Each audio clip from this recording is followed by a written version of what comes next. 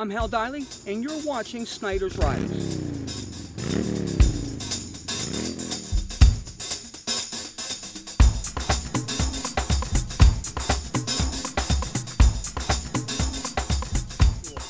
Rather than waiting for the day before, start weeks in advance. We're about three weeks out from our trip.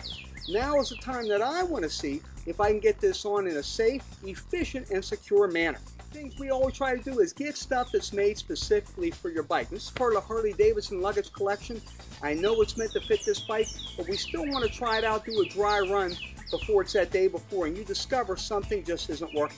So let's see how we do getting this on.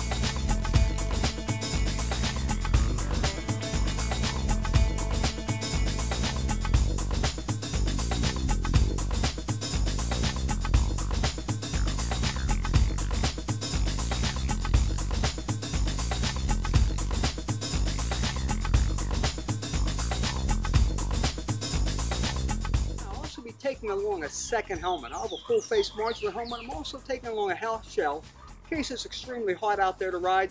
Also, I like putting something high vis and reflective on the back of my bike. Remember, even though I'll be wearing high vis, when you put all this black gear behind you during the day, that's all that people see. Now there is reflective material built into this, but again, having some high vis up high is a great idea.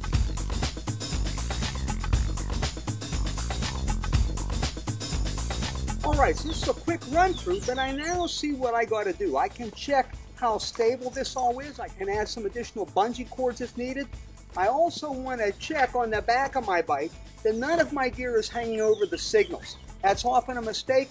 Even once people start riding, they don't realize their gear is shifting and is covering those vital signals of your brake light and or your turn signals. So always step behind your bike, make sure you still have enough clearance for all those lights before you take off. I'm Hal Deily with Snyder's Riders, and this is Trip Tips.